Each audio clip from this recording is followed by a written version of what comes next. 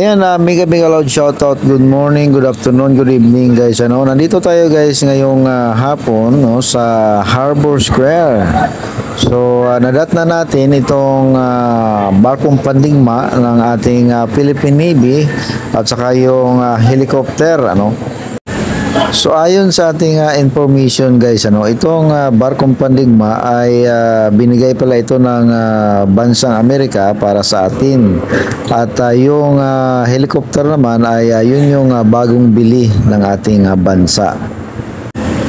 Ang ah, gagawin nila guys ay ah, para makalipad no ang ah, helicopter hatakin muna nila pansamantala itong ah, barkong pandigma kasi kung hindi ito ay ah, tatamaan ng kanyang ah, ilisi.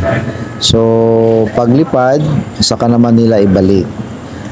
Ito kasi nga nakita nyo guys ano, ah, ito po ay ah, likod po ng ah, Philippine Navy no. Ah, may ah, daungan po sila dito kaya palagi no nandito na dumadaong ang kanya kanilang ah, barkong pandigma at ah, lalong-lalo na pag ah, may program sila or may mga official na ihatid para dumalo sa kanilang ah, program.